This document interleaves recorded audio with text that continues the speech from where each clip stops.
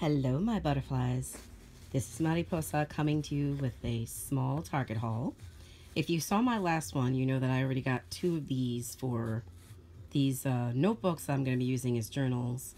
These are white uh, markers, and the pages of the notebook that I have are all black pages. I got them from the Dollar Spot um, a while ago. So they were, these were selling, and I got only had two, so I decided to pick up two more. Um, this way, if I don't see them ever again, I don't have to worry.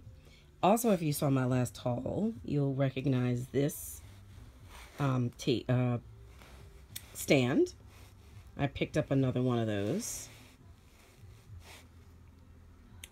And some another new thing that I picked up is this adorable um, little ceramic tray with gold dots and gold trim. Too, too cute. That's going to go on my desk. I also picked up this really, really cute um, ceramic um, mug, tall mug, uh, with a rubber top. I was debating about whether or not I wanted to actually use it as a mug or whether or not I wanted to use it, um, you know, as a, just a, like a, a holder for things. Brushes, markers. I think it's going to go, be, it's going to be a mug.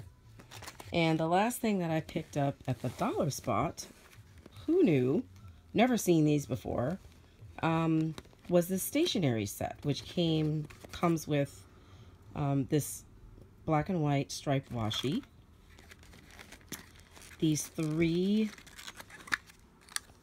um, paper clips, which actually match the mug that I just showed you. Totally adorable.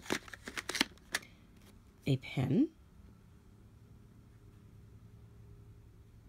And this um, notepad, which also matches the mug.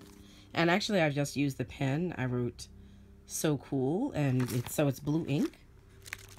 But I just thought this was so cute. And uh, this is, again, I don't know, I feel like lately I've been hitting pay dirt in the Target dollar spot. I either, I've been going for months and hadn't been seeing anything, and then all of a sudden, um, I feel like I was seeing a lot of great, great things. So I've been cleaning up.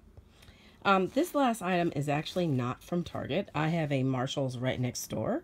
So I popped by there, and it is a journal. I'm planning on using it